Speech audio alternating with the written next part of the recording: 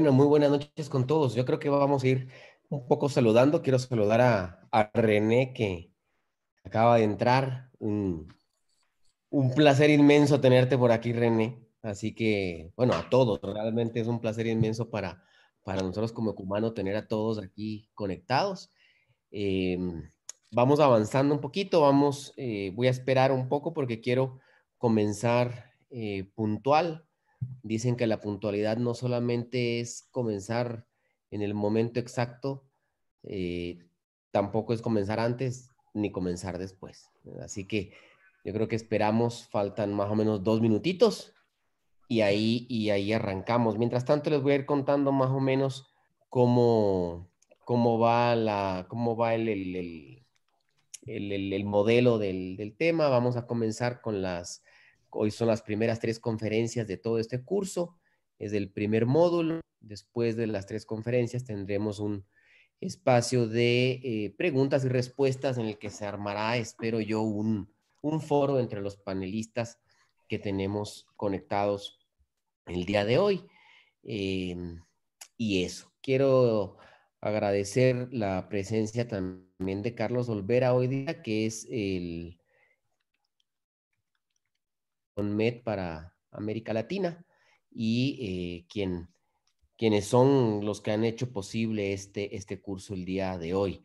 Les pido a los eh, observadores que estén pendientes para que las preguntas las hagan por favor a través del chat o a través del espacio de preguntas y respuestas y trataremos de dar respuesta a todas ellas. Y para las personas que eh, no han podido por alguna razón conectarse fácilmente a través del Zoom, en la plataforma Zoom, pues también pueden conectarse y pueden verlo a través de eh, YouTube. De todos modos, les pido que intenten hacerlo a través de, Zoom para que eh, puedan obtener al final del curso el, eh, el certificado de, la, de, participación. Bueno, siendo ahora sí las 7 en punto, entonces vamos a dar, a dar comienzo al, al primer curso virtual de eh, artroscopía de muñeca.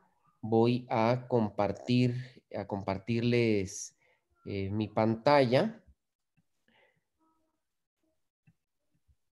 para, exacto, presentarles el curso como tal. Eh, nosotros somos la Sociedad Ecuatoriana de Cirugía de la Mano, Ecumano, la Sociedad de Cirugía de Mano del Ecuador. estamos somos miembros de la Federación Latinoamericana, de la Federación Internacional y del Grupo Ibero-Latinoamericano de Cirugía de Mano.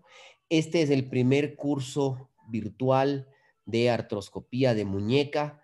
Eh, nuestros invitados a este curso, los doctores Luis Náquira de Colombia, Matías Cravioto de Uruguay, Matías Sala de Argentina, René Jorquera de Chile, Martín Caloya de Argentina, Marcio Aita de Brasil, Gustavo Mantovani de Brasil y el doctor Alejandro de Estados Unidos.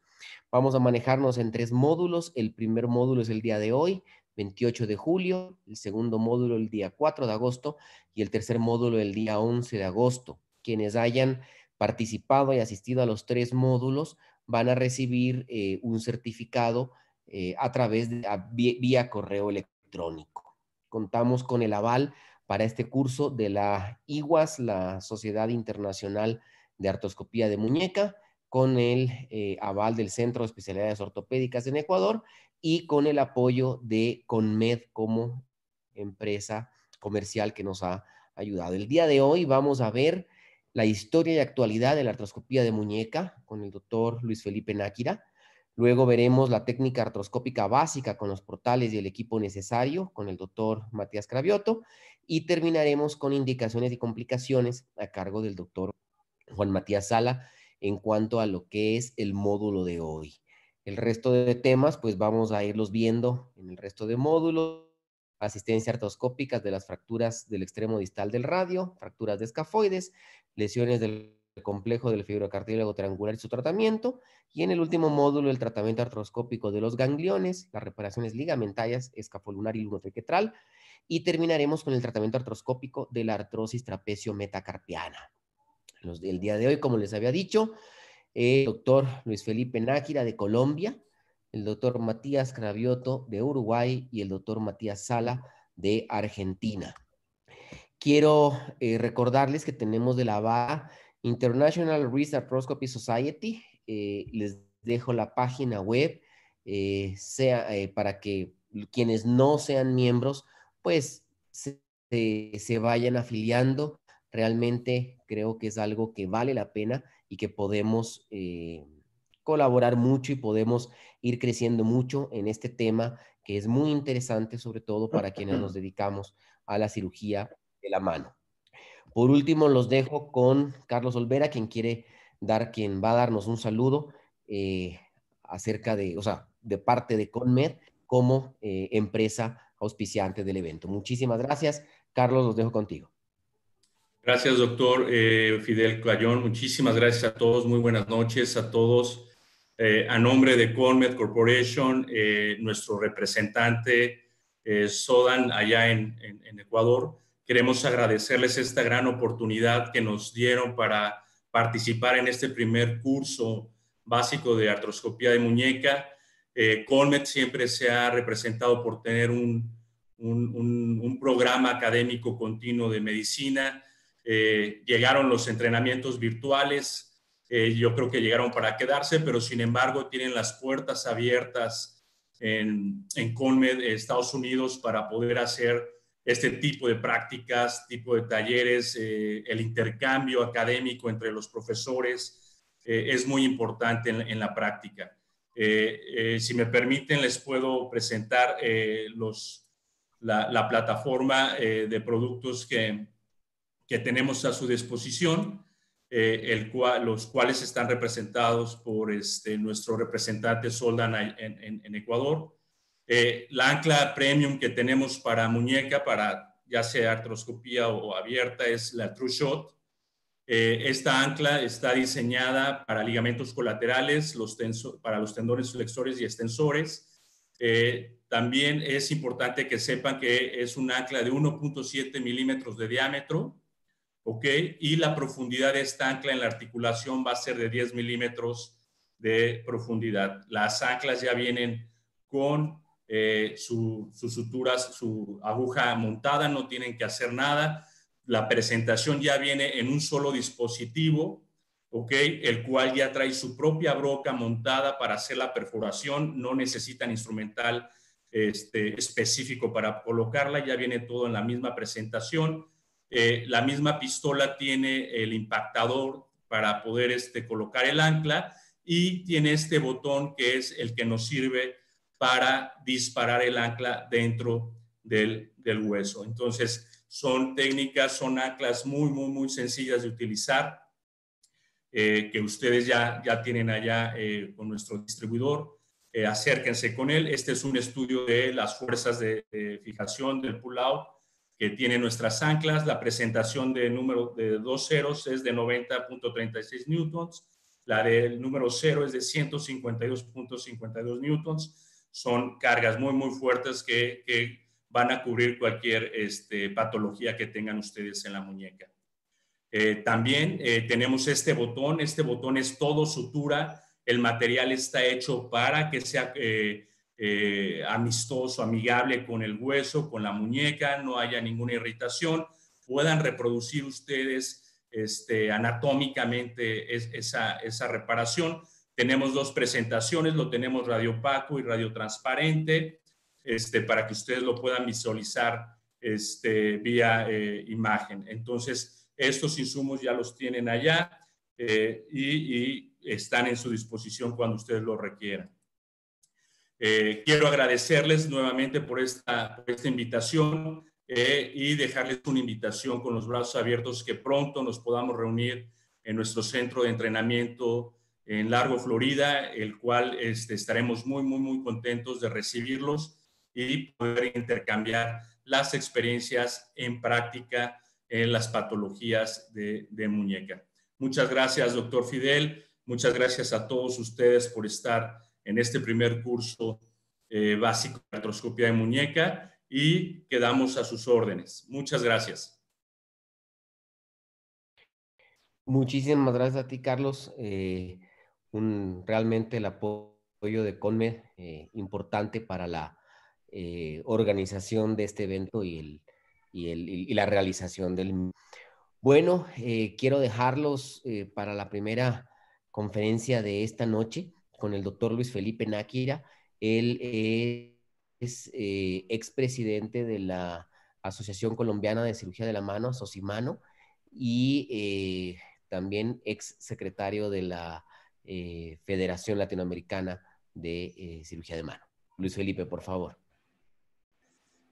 Gracias Fidel, gracias por, por esta invitación, vos siempre empujando mucho y haciendo todos estos cursos y toda esta academia y a todos los que nos gusta en Sudamérica la parte de la, de la artroscopia. Yo creo que vamos, como les copió en el chat, vamos a aprovechar el, la noche de hoy y todos vamos a aprender un poco de las experiencias y, gracias por tener este, esta cantidad de, de personas que tenemos acá eh, en el chat y, y, en este, y en este seminario.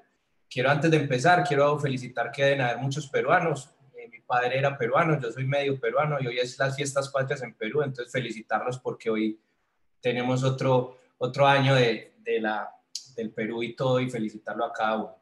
Bueno, como, como nos comentaba Fidel, este seminario el, día de hoy vamos a hablar como los principios como más básicos y muchas veces un tema de hablar de dónde viene la artroscopia, por qué hacemos artroscopia, o qué es lo que está pasando y retomar un poquito de la historia nunca se hace, se, se sobreentiende y uno, y uno quisiera un poco saber. Entonces es lo que yo quiero que hablemos un poco el día de hoy durante esta conferencia. Lo primero es que, ¿por qué hacer artroscopia? Entonces, nosotros todos los que estamos acá nos gusta las patologías de la mano y ahora los siguientes conferencistas sobre todo nos van a decir cuándo es importante y cuándo podemos hacer la artroscopia. Y tenemos una cantidad de patologías, fracturas, lesiones que la artroscopia puede ser útil. ¿Qué hacíamos antes de tener la artroscopia? Entonces, para poder ver esa muñeca, para poder ver dentro de las pequeñas articulaciones, teníamos que hacer estos tratamientos abiertos. Y todavía son muy útiles dependiendo de las lesiones, y eso cada vez nos lo van a indicar.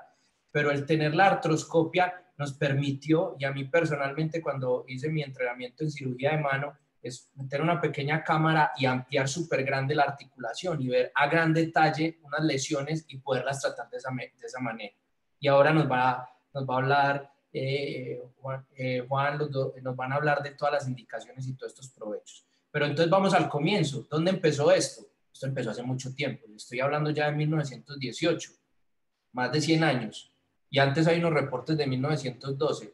Pero en Japón fue donde empezó ese foco de mirar la articulación por dentro sin tener que abrirla, mirarla con algunos lentes y, estarla viendo. Y este uno de los pioneros de la artroscopia en general, que fue este doctor Takagi de Japón, en 1918 él hizo como utilizando un cistoscopio, utilizando, ven que es largo, ahí vemos la imagen, empezó a mirar dentro de las articulaciones, la primera la rodilla porque era más fácil. En el mismo Japón, y una de las personas que más impulsó a hacer artroscopia, a visualizar la artroscopia, a visualizar las superficies articulares sin tener que abrirlas, fue eh, Masaki Watanabe. Él desde 1950 empezó a describir y tiene su, su, libro que es el Atlas de Artroscopia. La primera edición, él no quiso utilizar las fotos porque no tenían una buena calidad, sino que eran, dibujos para mostrar bien los diagramas. Entonces, lo más, lo más importante es que él fue el que nos dio el primer salto de esas artroscopias en la rodilla, que fue la primera articulación, hacia la muñeca. Él entre los 50 y los 70, en esos 20 años, en toda porque él empezó a, mirar primero las rodillas, después a ver las diferentes articulaciones, él empezó a hacerlo. Y en los 70 se le hizo un diseño de un artroscopio de 1.9 para utilizar en la muñeca. Y él ya hablaba de algunos portales. Entonces, con todo este trabajo en Japón, sobre todo Japón fue el que más impulsó y nos empezó como todo, todo esto y empezó a llevarlo hacia el mundo, pero todavía está allá en Japón. Llega en el 79 y tenemos este artículo de, de Chen, de Hong Kong, en el cual él llegó, hizo 90 artroscopias en la muñeca y en las articulaciones de los dedos, 90, estamos hablando que es una cantidad muy importante. Y por eso este artículo es clásico. Yo no lo pude encontrar en el original, lo encontró aquí de PubMed. Sí encontré esa imagen que son los dos primeros portales que él describió y él, él, él lo que empezó a utilizar fue las muñecas amputadas o brazos amputados en su hospital para empezar a describir qué uno podía hacer y podía evaluar la artroscopia. Entonces, estos son esos pioneros desde Japón a ir como la parte asiática nos ayudó a pensarlo, pero bueno, ¿cómo es que esto salta a nuestro lado? ¿Cómo es que, si lo sabemos, esto hay que reconocer, los americanos les gusta algo que les gusta, eso lo distribuyen. Entonces, una, un agua con gas la volvió a la distribuyó en el mundo, la Coca-Cola, le pusieron sabor. Entonces, los mismos, los americanos, fueron uno de los impulsores de la artroscopia. Ellos son, para eso, para estas cosas son, son impresionantes. ¿Y quién empezó? Gary Poelling, este cirujano, ortopedista americano, él además era médico de la Fuerza Aérea y estuvo a dónde? En base en Japón. Entonces, en base en Japón, él conoció a Watanabe, empezó a ver lo que estaba haciendo Watanabe y él fue el primero de los que se llevó un artroscopio a, Estados Unidos de vuelta. Entonces empezó a decir, cuando volvió a Estados Unidos, hey, miren, hay una forma de hacer las cirugías de la, de la rodilla, las podemos hacer. Y llevó su juguetico, él tenía ahí sus dólares, los gringos siempre tienen sus dólares, y llevó su primer artroscopio para Estados Unidos. Y ahí antojó a este señor, a Terry Whipple. Y ellos empezaron a hacer la rodilla, pero Terry, el doctor Whipple, le empezó a interesar mucho la muñeca. Entonces, ellos al principio aprovechaban en pacientes, sobre todo el doctor Whipple, él trabajaba con un cirujano de rodilla muy importante, entonces antes de hacer la cirugía abierta, el cruzado le decía, déjeme, como, como los residentes, déjeme una miradita. Entonces él introducía el artroscopio y miraba, y ahí sí fue, y después saltó a la muñeca. Entonces, pero ellos en esos momentos, empezando el 80, en el 85 coincidieron en una, en una reunión, como todos los ortopedistas que nos gustan, ir a los congresos, aprender algunas cositas, pero a pasear, a reunirnos con los amigos, que ahorita no lo podemos hacer, a comer bien bueno, si es en Argentina, a, tomarnos un buen a comernos un buen churrasco, un buen vino en Francia, todo, y se juntaron en un hotel, en el congreso, y estos tres señores, Whipple, Quellen y James Roth, que ya en Canadá le estaba haciendo mucha artroscopia y empezaban a hablar como los amigos, hey, vos ya estás haciendo la, ya la artroscopia estás haciendo en la muñeca, ah, sí, que yo hago, ah, ya estás haciendo en tal parte, sí, y empezaron a conversar y un, y un momento de tragos y de hablar bueno, dijeron, pero venga, todo el mundo ya hace artroscopia en la rodilla, ¿y la muñeca qué?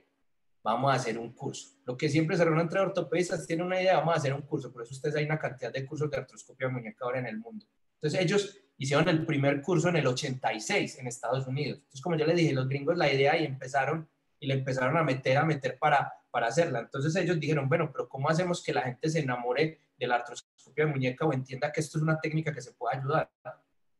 Se asociaron con el doctor Urbanayak de Estados Unidos, expresidente de la Sociedad Internacional, y le dijeron, venga, necesitamos hacer este curso, vamos a invitar a una gente y la clave de ese curso es que ellos invitaron y combinaron gente muy experimentada de la cirugía de muñeca y de mano en ese momento en Estados Unidos y gente que estaba comenzando. Hicieron, miren, esa cantidad de un grupo muy selecto y les mostraron, hicieron demostraciones de artroscopia, tratamientos del fibrocartílago y cosas básicas y los empezaban a enamorar y hubo unos comentarios excelentes, incluso de las personas más veteranas en su momento, que están acostumbradas a tratamientos abiertos, incluso uno de los que había hecho más disecciones anatómicas y trabajos de anatomía decía, nunca he visto la anatomía como la puede mostrar un artroscopio. Entonces, por eso les mostraba al principio esa imagen. La artroscopia nos cambió, y sobre todo en la muñeca, cosas tan pequeñas que abiertas no se detallan tanto. Al poner esa magnificación ahí, las empezamos a detallar y a escribir mucho. Entonces, ellos empezaron a impulsar mucho y ese curso fue como la, la semilla, esa semilla que empezó a germinar y, y, en todo Estados Unidos. Entonces ya en los noventas vino Lee, Lee Osterman, que todos lo conocemos, y dijo, venga, pero los gangliones. Y empezó a hacer tratamientos artroscópicos de los gangliones. Después eh, Randall Kolb, Kolb empezó a hacer las carpectomías y ya empezaron en Estados Unidos a hacer diferentes técnicas. Steve Viegas, que nos habla mucho de la anatomía y la biomecánica, al hacer la introducción nos puede hacer unas mayores descripciones de unos trabajos muy bonitos y excelentes para que lo revisen. Entonces ya en los 90 empezó ese boom, ese boom en Estados Unidos y ese boom que, ¿para dónde se va a ir? Para afuera, ya el mundo, Estados Unidos y como mucha gente hoy lo que están haciendo los americanos y toda la cosa. Entonces en el Y2K, en ese 2000 que tan fatídico nos iba a pasar, lo que pasó fue que la artroscopia salió más de Estados Unidos hacia las otras partes del mundo que ya venía trabajando, pero empezaron a decir, ellos no lo están publicando más y no están publicitando esto, empezamos a hablar. Entonces los franceses, con Christopher Matulán, que ya venía trabajando muy fuerte, empezaron a mostrar lo que ellos hacían, sobre todo en las lesiones ligamentarias. Y una de las cosas muy importantes de la historia es que lo que hablaba ahora, Fidel, este es un curso que es avalado por la, eh, la Sociedad Internacional de Artroscopia, pero él ya nació como la Sociedad Europea de Artroscopia de Muñeca, y él la fundó, Christopher Matulán la fundó en el, 2000, en el 2005. Y, este, y, y Guillem que todos lo hemos conocido hablando, empezó a, mirar como los americanos, decir, pero venga, es que con la artroscopia podemos hacer tratamientos de lesiones perilunadas también, de lesiones alrededor de la muñeca. Y se nos fue para Asia. Estos dos personajes que todos los conocemos, y sobre todo uno, a PC Ho en Hong Kong, que él, su entrenamiento en artroscopia fue con Terry Whipple en Estados Unidos. Él empezó también ya cuando llegó a crear sus cursos en, en la parte asiática y sobre todo él a empezar a hacer sus tratamientos. Y Gregory Bain que en la parte de la muñeca, sobre todo con el doctor David Lindman, han hablado mucho del tratamiento artroscópico de la enfermedad de Kienbock. Entonces, ya esto que estaba en Estados Unidos y que en las otras partes del mundo iba, iba trabajando, empezó ya como una explosión, la explosión de, de, llegar a ese el año 2000, el Y2K, y hizo crecer. Esto fue ese paso y la creación de la, de la Sociedad Artroscópica Europea, la IWAS en su momento, hizo la expansión ya mundial a todos los rincones del mundo de los tratamientos de la muñeca.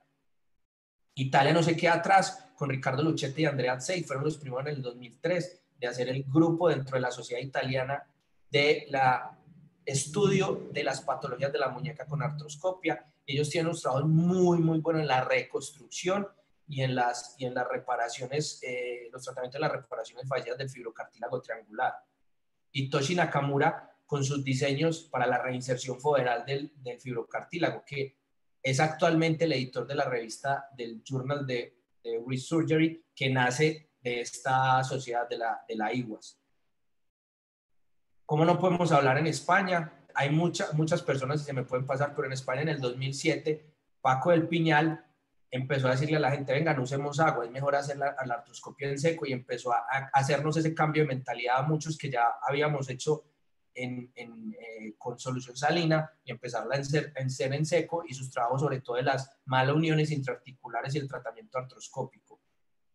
Y Jagnar, Jan Ragnar, que todos lo conocemos de Noruega, Noruega, también nos empezó con esa evaluación artroscópica de la muñeca, decir, no todo, no todo lo que duele en el borde cubital, como el dolor lumbar, todo el dolor lumbar, no, el, todo el dolor cubital no es el fibrocartílago, hay otras estructuras y empezó a mostrarnos las técnicas de tratamiento. Y Tommy Lindo fue uno de los precursores en la parte europea de las lesiones asociadas del radio Entonces volvimos a saltar ya, esto está en el mundo, estamos ya en los años 2000 y, y ya volvemos otra vez a Estados Unidos en los cuales hay unos pioneros que nos han ayudado mucho, el doctor Will Geisler con la parte de la evaluación ligamentaria, la clasificación que él tiene de, la, de las lesiones ligamentarias, sobre todo el escafolumnar, artroscópica que es muy importante y el radio distal que nos ayuda, David Slosky que además todos estaban trabajando en unos portales por el dorso y él empezó a decir, no, venga, podemos hacer unos portales volares por la parte palmar de la muñeca y nos va a ayudar a ver otras lesiones en el dorso y lesiones mediocarpianas. Y él en el 2012 fue el primer editor de la revista del Journal de Root Surgery. Entonces, son cosas muy importantes. Tyson Cobb, que también fue presidente, varios de ellos, eh, David y Tyson fueron presidentes del IWAS, eh, con las lesiones SNAC de la muñeca, las no uniones y el tratamiento artroscópico con su técnica, con la resección del escafoides y o las estiloidectomías y todo. Y que aquí va a hablar en, los próximos eh, seminarios Alejandro Badía con el tratamiento y sobre todo su trabajo en la risartrosis, en la artrosis de la trapecio metacarpiana y de las pequeñas articulaciones. Entonces vamos y vemos que hay un crecimiento, ya estamos en los 2000 y eso hace que además venga ciencia y literatura. Entonces empezamos con los libros. Christopher Matulano, uno de los, uno de los, no tengo el primer libro de artroscopia de muñeca, no encontré la foto, que el doctor Terry Whipple en 1992 publicó su primer libro, que eso fue también un hito y también impulsó el, la enseñanza y el estudio de la, de la artroscopia de muñeca. Pero Christopher Matulano fue uno de los primeros en hacer libros, que están las técnicas artroscópicas. Will Geisler también tiene su libro. La ANA con Félix Aguay y Larry Field también tienen su libro y el doctor del Piñal y el grupo de Liwas han sacado varios libros del manejo del borde cubital y del manejo de las fracturas de radio distal. Y eso ha impulsado mucho el crecimiento de la artroscopia y que cada vez tengamos más técnicas y cada vez más enseñanza de esto. Pero ¿cómo? Acuérdense, ¿qué fue lo que impulsó en Estados Unidos la artroscopia de muñeca? Ese primer curso en el 86. Y la verdad, algo que ha hecho sobre todo la IWAS, esos cursos en cadáveres para impulsar la enseñanza y sobre todo la práctica en los diferentes países. Entonces tenemos los cursos madre que son en, el, en Estrasburgo, que hay avanzados básicos, intermedios. Tenemos en Madrid un curso por Pedro Delgado excelente, que muchos de acá han sido conferencistas y han asistido. el curso René que nos acompaña, su curso que hace año tras año en Santiago, que también nos va mostrando y sobre todo porque tiene esa parte, la parte teórica, pero además la práctica en cada vez, porque es una técnica para algunos puede ser nueva, entonces hacerlo y irlo a hacer y familiarizarse ayuda mucho.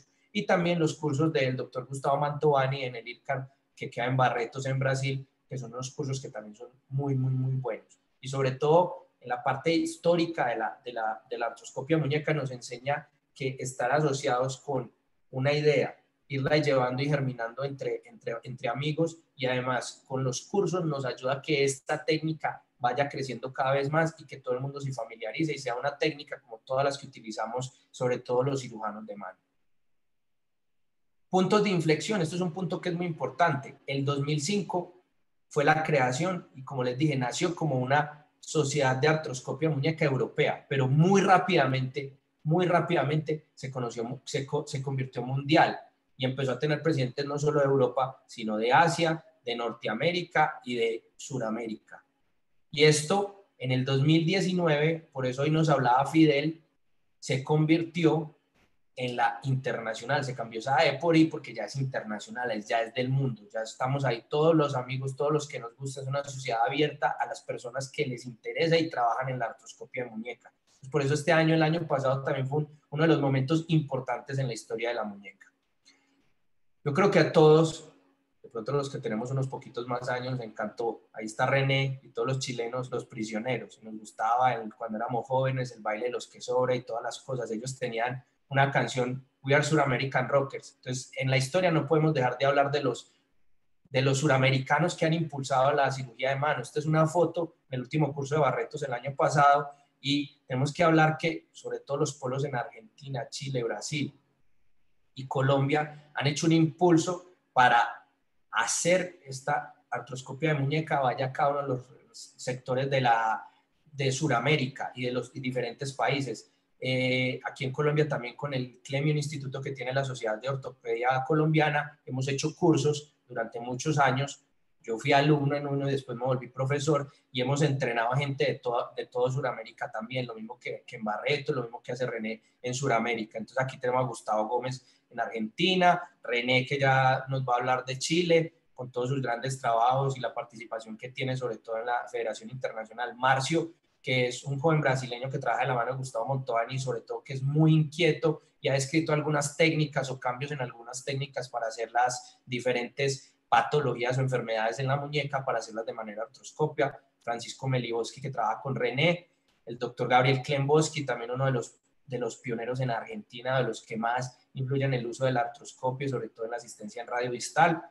Gustavo Montovani, aquí hay que parar un poco porque Gustavo sobre todo hizo que el mundo también mirara a Sudamérica en la historia de la artroscopia de muñeca. Gustavo ha hecho muchos trabajos y sobre todo Gustavo fue ya presidente de la Federación Internacional, en su momento europea, impulsó mucho que nos miraran y impulsó a varios de los que estamos aquí que nos vean alrededor del mundo y logró que también muchos del mundo vinieran aquí a Sudamérica y nos enseñaran y compartieran sus, sus, sus conocimientos. Doctor Fabio Suárez, mi mentor, quien fue el que me enseñó a mí la de muñeca, profesor del Hospital Militar.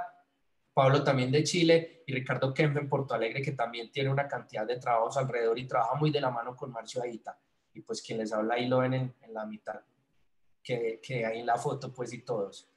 También Félix, Félix Reño, una persona que trabaja en Estados Unidos, en una casa comercial, pero ha sido de gran ayuda porque él en la parte básica ha ayudado a personas como Andrea Tsey para sus técnicas, sobre todo la reconstrucción. La puede hacer una aplicación primero eh, en cadáveres preclínica para después una aplicación clínica, lo mismo ya, eh, Jack Ragnar y varias de las técnicas, eh, Jeffrey Yao, etcétera, nos, él nos ha ayudado allá. Yo tuve una, unos días allá, estoy haciendo algunas técnicas, él es también una persona de, de Sudamérica trabajando en Estados Unidos que nos ayuda demasiado al crecimiento de esto. ¿Y en qué estamos? Porque me decía la actualidad. Entonces, la actualidad es que tenemos una gran cantidad de cosas. Nos va a hablar ya y es los siguientes conferencistas sobre todas las indicaciones y qué podemos hacer. Pero, ¿para dónde vamos? En este momento, pues se está hablando mucho de la nanoscopia. La nanoscopia es tener un artroscopio casi que desechable, muy pequeño, que incluso Muchos cirujanos de rodilla lo utilizan en su consultorio en una sala pequeña de procedimientos para mirar lesiones cuando tienen la duda de una lesión contra lesión algo y para mirarlo rápidamente y hacer el diagnóstico. También existe uno muy pequeño para hacerlo en la, en la mano, que es una imagen, y, y, es, no necesitamos la torre completa como, como la tienen, un, puede ser con un, con un iPad o con, un, con una pantalla de computadora, así como la ven, muy pequeña, no necesitamos tanto aparatos, está destinado para hacerlo y sobre todo es muy pequeño, entonces podemos llegar a espacios que en la muñeca hay veces son difíciles. Esta es una imagen de una mediocarpiana, en la cual vemos el grande arriba, vemos el, el escafoides a la mano derecha de ustedes y el semilunar a la, mano izquierda. Entonces, eso es una de las cosas que ahora se está haciendo, tener artroscopios más pequeños, que sean más útiles y que sea más fácil hacerlo y poder, sobre todo en la mano, llegar a espacios mucho más pequeños. Lo otro que se está trabajando en más portales. Entonces, portales, miren, un portal volar central, eh, portales eh, diferentes para verlo y sobre todo nuevas técnicas, una técnica artroscópica para hacer la liberación de la pronosupinación de la muñeca. Entonces, cada vez estamos tratando, impulsando y haciéndolo con, con el, al tener unos nuevos equipos y al tener cámaras mucho más pequeñas, podemos hacer mucho más cosas y cada vez, poniendo muy bien la anatomía, tener portales seguros para hacer nuestro trabajo. Entonces es un camino largo históricamente, entonces es un camino que empezó desde hace mucho tiempo para la artroscopia, pero en la muñeca básicamente empezó en los 70s. Watanabe, cuando hizo su artroscopio de 1.9, después Chen impulsó mucho con el artículo porque no hay nada más que el ego de los médicos de, ay, hay una persona que ya hizo 90 artroscopios, así se haya sido en, en, en, unas manos amputadas, pero dicen, no, si él, si él pudo, yo, ¿por qué no puedo? Entonces todo el mundo empieza a impulsar y a jalar. Whipple en el 84 describió los portales que utilizamos ahora dorsal entre los, entre los espacios de los, de los extensores en el, en el 86 ese primer curso fue el impulso, esa fue la primera gran, gran empujón para ver para dónde vamos, para animar a todo el mundo a que utilizara la artroscopia y en el 92 lo completó Whipple con su primer eh, trabajo, primer libro, perdón, de, de, enseñanza de la artroscopia muñeca. La fundación del IWAS en el 2005 por Matulán hizo que todo el mundo que estaba interesado alrededor del mundo, a pesar de que fue europeo, pero alrededor del mundo lo, lo concentró y lo, lo logró esa técnica en seco del piñal que, todavía que todos utilizamos, todos nos cambiamos en, muchos de los, de los casos que necesitamos usar. En el 2007 nos dio un cambio. La revista del JB, del JWS, el Journal de Resurgery, donde hay una cantidad de trabajo, sobre todo dedicado a artroscopia o a, o a patologías de la muñeca. Y ese cambio del IWAS ya formalmente algo internacional, pues nos tiene en el punto que estamos, en el punto que ahora van a ver que la artroscopia de muñeca es una, es una técnica que se puede hacer, que se puede reproducir y que sobre todo puede ayudar a su paciente y ayudar a unas patologías y a recuperar la función, que es lo que todos queremos cuando nos, cuando nos enfrentamos a eso. A todos, ahí les tengo mis contactos, síganme en Instagram, en Facebook y mi correo por si algo necesitan. Muchas gracias a todos. Muchísimas gracias a ti, Luis Felipe, por ese recorrido histórico que la verdad creo que aclara muchas cosas y que nos lleva muy de la mano por dónde, por dónde, de dónde venimos para saber hacia dónde vamos. A continuación vamos con la segunda conferencia de la noche, eh, los eh, portales artroscópicos y el instrumental necesario, a cargo de Matías Cravioto, él es el representante de, del, Uruguay ante la Federación eh, Latinoamericana de Cirugía de Mano. Así que Mati, los dejo contigo. Buenas noches. Voy a compartir pantalla.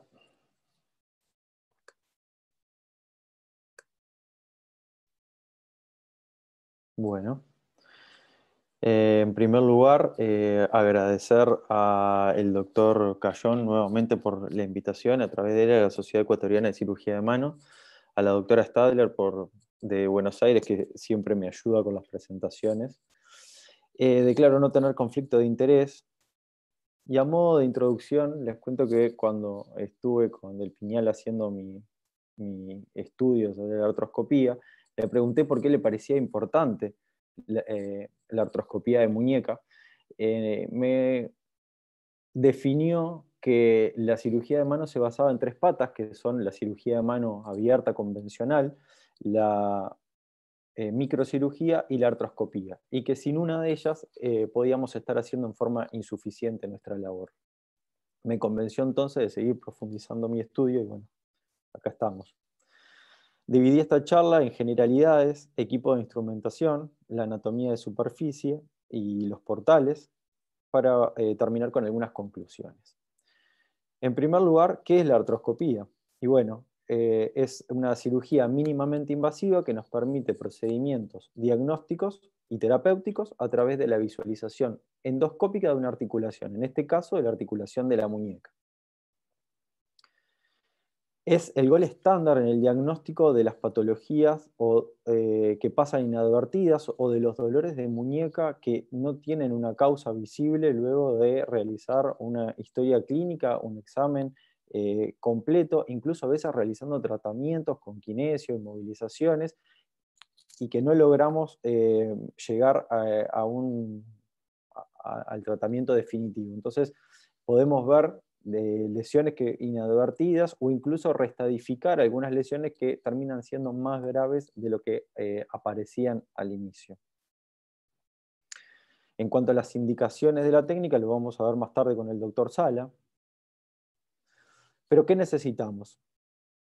En la sala de cirugía siempre vamos a tener una torre, la cual va a contar de un monitor, un eh, equipo que va a ser el encargado de transmitir la imagen desde el artroscopio al monitor, un sistema de, eléctrico para el sinobiótomo, un sistema de aspiración para el mismo, y en algunos casos eh, más modernos, la computarización para la documentación fotográfica y visual y video de eh, lo que estamos viendo. Dado que eh, actuamos en cavidades muy pequeñas, es necesario utilizar sistemas de tracción. Los clásicos sistemas de tracción como la torre de Whipple o, la torre, eh, o las barras al cenit eh, son los sistemas de tracción verticales, también existen horizontales. Nosotros utilizamos fundamentalmente artesanales, diseñados, articulados, que nos permiten la pronosupinación de la muñeca y algunos movimientos de flexo-extensión, y siempre eh, utilizados con finger traps, que son los que nos permiten la tracción de la mano del paciente. El artroscopio en sí mismo es un tubo metálico que tiene en su interior eh, un sistema de lentes que nos permiten la observación en el interior de la cavidad. Si bien existe, como vimos en la charla anterior, eh, un desarrollo importante del mismo, lo clásico es que se utilizan de 2.4 o 2.7 milímetros con eh, una angulación de 30 o 70 grados. Eh, a nivel eh, superior o vertical tiene la conexión para la fibra óptica que permite la iluminación. Además, el conjunto se completa con la camisa de protección, la cual tiene válvulas que permiten la entrada y salida de fluidos, y una punta roma que se utiliza como iniciador eh, dentro de la camisa para ah, iniciar la cirugía. Existen múltiples pinzas de distinto tamaño, de distintas formas, hacia un lado y hacia el otro, que tienen como característica general el tamaño suficientemente pequeño para movernos en una articulación que prácticamente no nos permite movimiento. Además, los punteros de Scheiber o de Burr para el tratamiento de las partes blandas o eh, de las partes óseas respectivamente, que van conectados a un sistema electrónico, como habíamos dicho, y además a un sistema de aspiración para la limpieza de los restos intraarticulares. Es controvertida la utilización de la radiofrecuencia. Eh, en la cavidad de la muñeca sabemos que eh, el condrocito sufre a más de 50 grados y en la muñeca particularmente debido al tamaño de la misma no podemos tener una eh, medida acabada de la temperatura a la que llegan los tejidos. Por lo tanto, se ha estudiado de múltiples maneras y a la conclusión de que llega es que se pueden utilizar en forma segura sistemas monopolares o bipolares, pero teniendo ciertos cuidados. Los pulsos no deben ser de más de 5 segundos, se deben esperar gaps de 5 a 10 segundos entre uno y otro pulso, no se deben aplicar en el mismo sitio y además se debe utilizar flujo continuo de fluido para eh, evitar el daño de los tejidos. Se han descrito como complicaciones eh, no solamente el daño del cartílago, sino incluso daños tendinosos, lesiones nerviosas e incluso quemaduras de la piel. Pero ¿cómo posicionamos la sala? La cirugía endoscópica tiene una distorsión de la percepción ya que estamos eh, operando a distancia y entonces tenemos una pérdida de la profundidad del binocular y además tenemos eh, una pérdida de la retroalimentación táctil. Esto se da por el movimiento paradojal que existe entre las manos del cirujano y la punta del instrumento que estamos utilizando. Por esto es importante la triangulación y para ello es em, de suma importancia que el cirujano, el objeto de estudio, que en este caso es la muñeca, y la torre se encuentren alineados 180 grados. Si esto no se logra por eh, la disposición de la sala, por el tamaño de la sala o por el tamaño de los equipos, lo siguiente más recomendado es que se encuentre sobre la mano no hábil del cirujano. Como vemos en la imagen, yo estoy en la cabeza del paciente por abordar una muñeca eh, derecha y tengo la torre a la izquierda del mismo.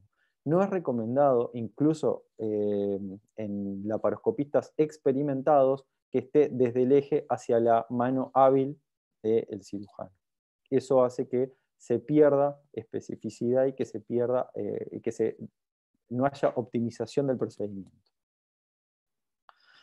El paciente entonces va a estar en decúbito dorsal con eh, el miembro superior abducido, en una mesa accesoria en la cual tenemos la torre de tracción que sujeta al brazo por encima del codo, el codo flexionado a 90 grados y los finger traps colocados en dos o tres dedos, eso queda a criterio del cirujano.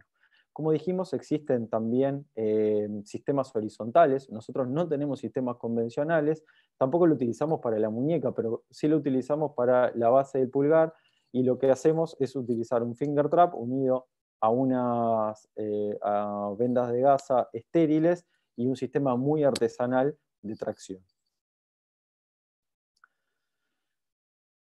Para la optimización de la cirugía es fundamental conocer la anatomía de superficie que va a ser la que nos permita colocar en forma correcta los portales.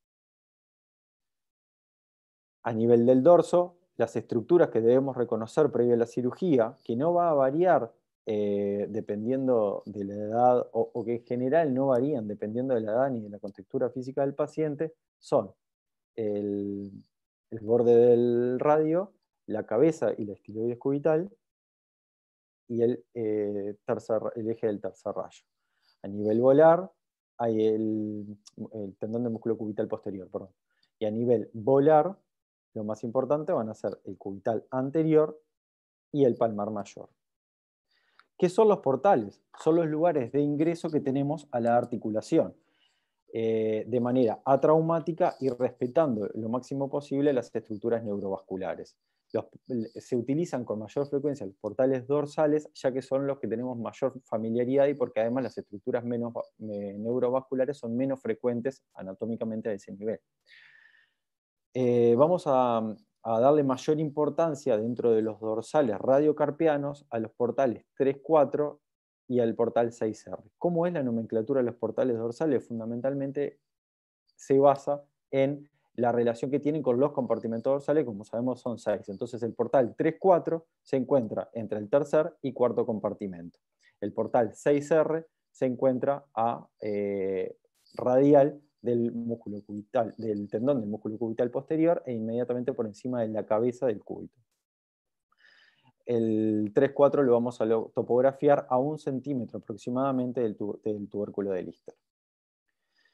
No es objeto de esta charla eh, especificar o aclarar exactamente cuáles van a ser los hallazgos eh, artroscópicos que vamos a ver, porque los vamos a ir viendo a lo largo del curso, pero a grandes rasgos contarles que lo que vamos a encontrar en la base de la imagen van a ser las estructuras más proximales. Entonces, en la radiocarpiana vamos a ver el complejo fibrocartílago triangular, la faceta articular del semilunar y del escafoides, del radio. A nivel del fondo de la imagen vamos a ver la cápsula volar con el ligamento radio lunar, eh, lunar, radio lunar largo, radio lunar corto y con una vista oblicua el radio escafo capitate.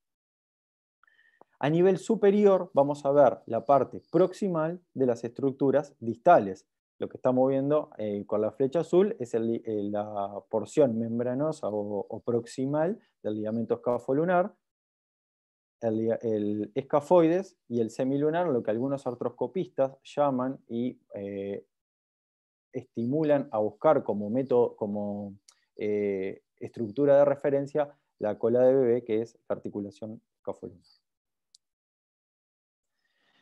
A nivel mediocarpiano, los dos eh, portales que se utilizan con frecuencia son el mediocarpiano radial y el mediocarpiano ulnar. El radial, topografiado a un centímetro del portal 3-4, hacia distal, y el mediocarpiano ulnar 1,5 centímetros aproximadamente hacia cubital del anterior y algo proximal.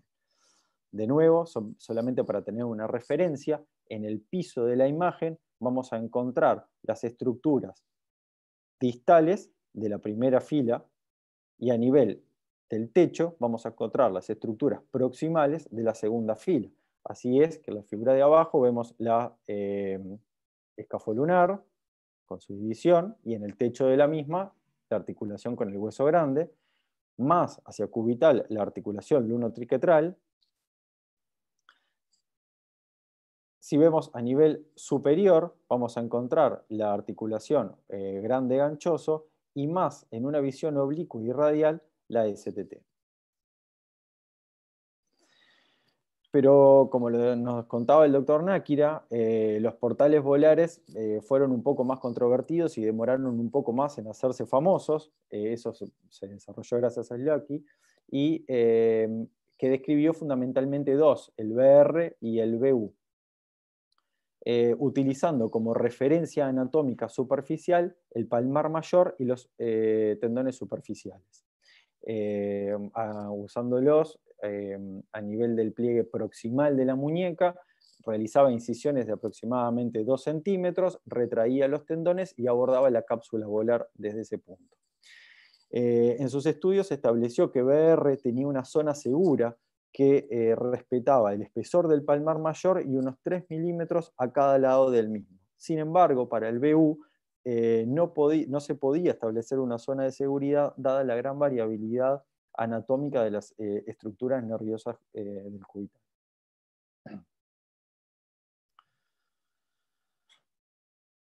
A razón de, la inseguridad que generaban los portales volares, fueron surgiendo alternativas. Una de ellas es eh, la de Nagroura, del equipo de Liverno, en la cual utilizaban los portales dorsales como referencia para colocar portales volares. Entonces, ingresando por 3-4, atravesaban la articulación con algún elemento romo, por ejemplo una aguja de Kirchner de 2.4, sobresalían a nivel de la piel y cuando em, hacían el abordaje utilizaban esta aguja como introductor para la camisa del artroscopio y así colocarlo en el sentido volar dorsal. Repetían el procedimiento para todos los eh, portales, utilizaban tres 4 para RCR, el 4.5 para el eh, radio cubital, para el radiocarpiano ulnar, perdón, el MCR para el medio carpiano radial volar y el MCU para el medio carpiano ulnar volar. En las pocas piezas cadavéricas que analizaron no obtuvieron lesiones, por lo tanto parecía eh, una alternativa recomendable.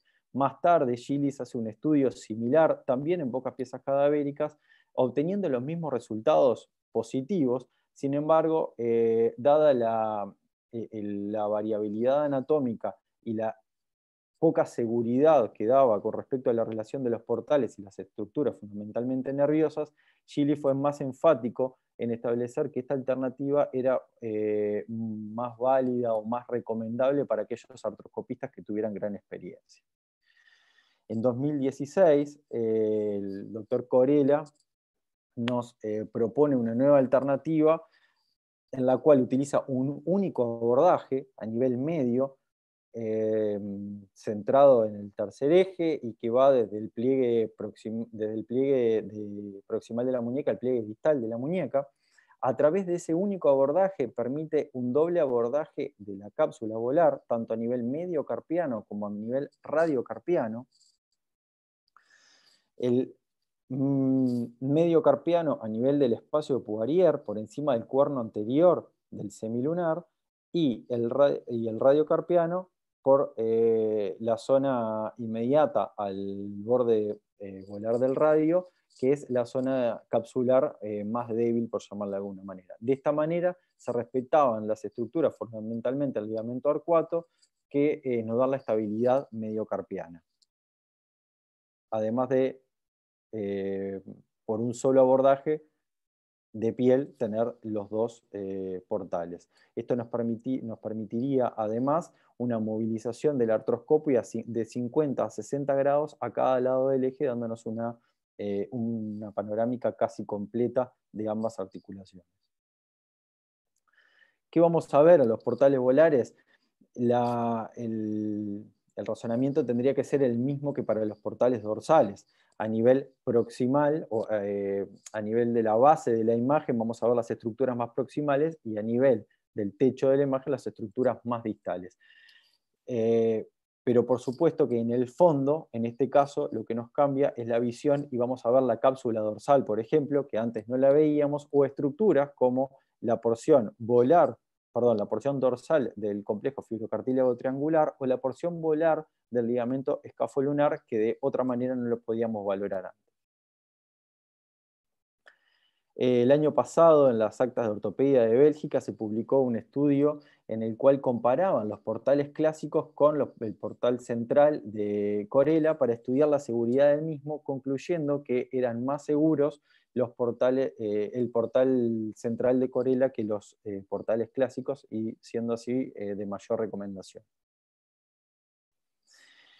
Algunos portales específicos, como lo de la radio cubital distal, que pueden utilizarse para la valoración de la inserción fobial del ligamento en el, del complejo fibrocartílago triangular, o para la valoración de la escotadura del radio y de la cabeza del cúbito.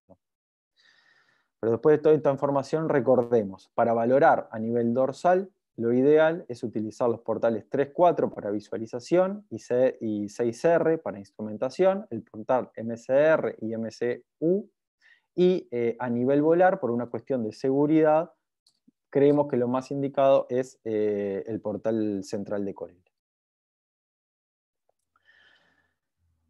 Eh, todo lo que hemos visto, más algunos portales que no hemos nombrado o que, em, si bien son importantes, son más específicos para algunas patologías en particular, como el 1.2 o el 6U, por el alto riesgo de lesiones neurovasculares, en el caso del 1.2, eh, por la relación con las estructuras radiales, y en el caso del 6U, por el paquete neurovascular cubital, nos permiten en conjunto un análisis completo de situación, lo que se denomina el box concept.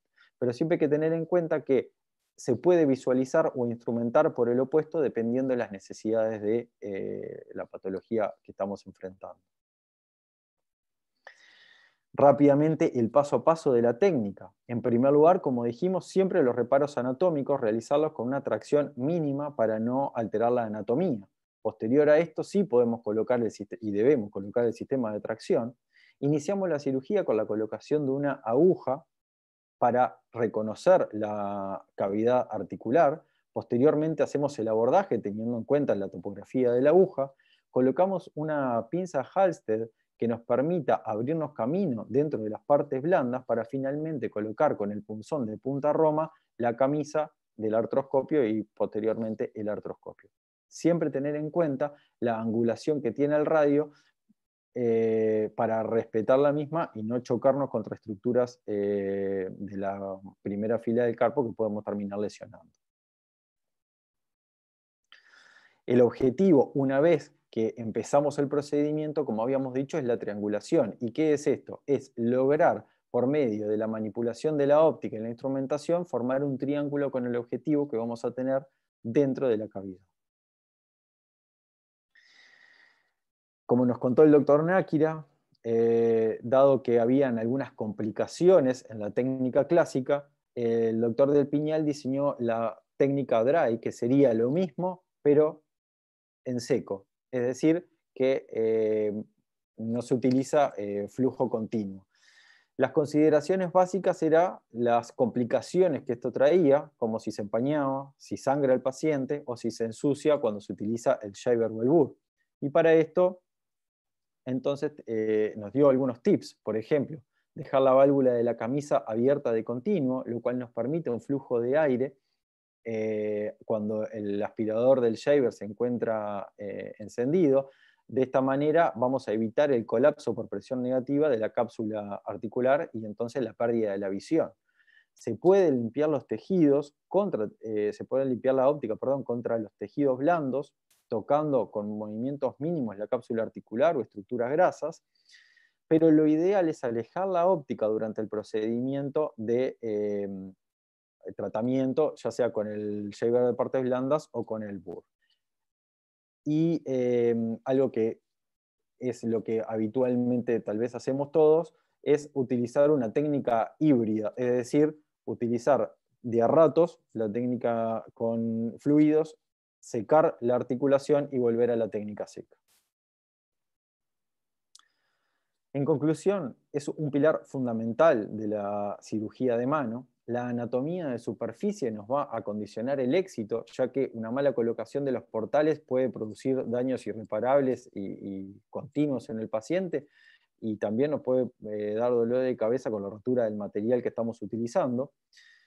Eh, tener en cuenta siempre los conceptos de triangulación y de box concept, que es el tener un panorama global de la articulación para poder eh, tratar en forma adecuada la patología a la que nos estamos enfrentando, y tener en cuenta que como toda técnica quirúrgica requiere una curva de aprendizaje, para lo cual existen muchos cursos para hacer y en nuestra región y con eh, excelentes eh, instructores o profesores como los que tenemos, es muy fácil de, lograr.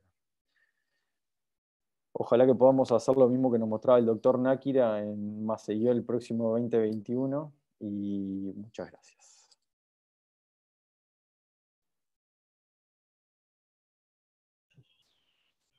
Muchísimas gracias, Mati excelente, excelente revisión de los, de los portales y de eh, la técnica artroscópica como tal. Creo que eh, falta poco para nada más poder practicarla y, y, hacer de este curso que no sea lastimosamente nos tocó virtual y no, y no presencial, pero estoy seguro que pronto haremos cursos presenciales también acá en Ecuador, estoy seguro de aquello.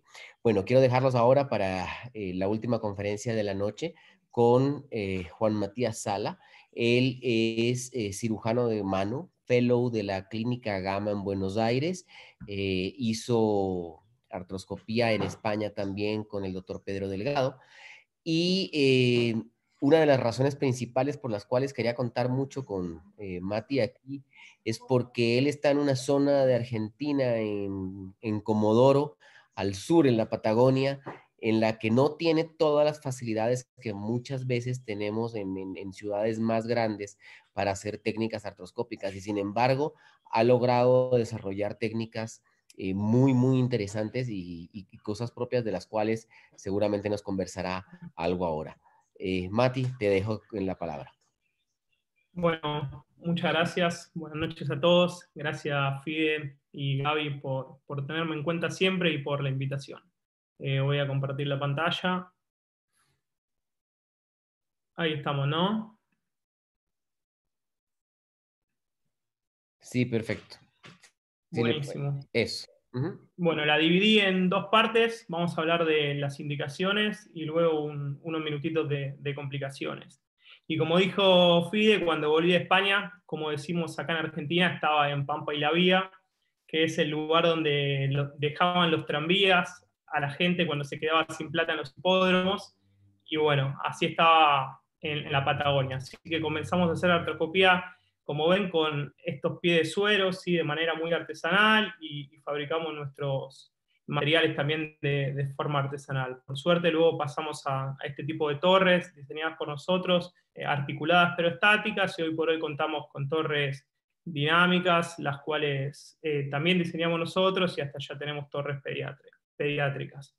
Y bueno, la idea es eh, charlar un poco de, de, lo que es artroscopía básica y sus indicaciones, y quiero empezar diciendo que como, como dijo Fida, a veces no tenemos todas las facilidades y, algunos materiales tenemos que reutilizarlos, como los cazamuchachas.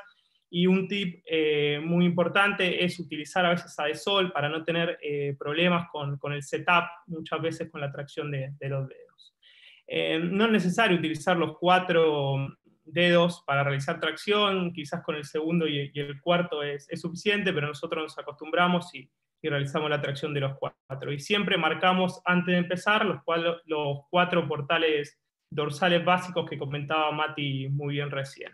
Este es un vedito corto, que más o menos ahí estoy marcando los portales, y en casi todos los casos hacemos una incisión transversal, ¿sí? y comenzamos por el portal de visión 3-4.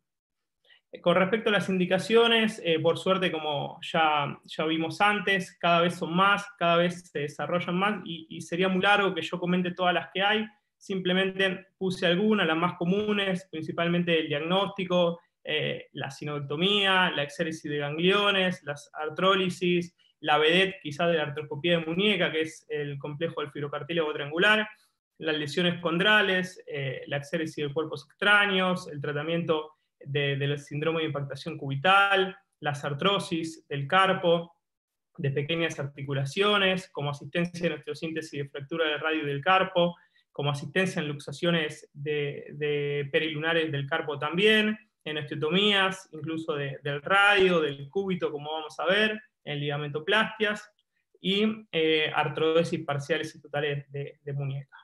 Y dos palabras, ya que no, no, no es la charla, pero recordar simplemente que como vamos a ver varias técnicas del fibrocartílago, el fibrocartílago tiene unas fibras superficiales que sirven de sostén y de transmisión de cargas y unas profundas que son las estabilizadoras. Y toda la parte periférica es muy rica, está muy bien vascularizada y es por eso que debemos repararla. Es por eso que vamos a ver, como les dije en indicaciones, que el fibrocartílago en general, su tratamiento es todo artroscópico, como estamos viendo acá, una lesión periférica, ingresamos por un portal 3-4 y trabajamos por un portal 6R.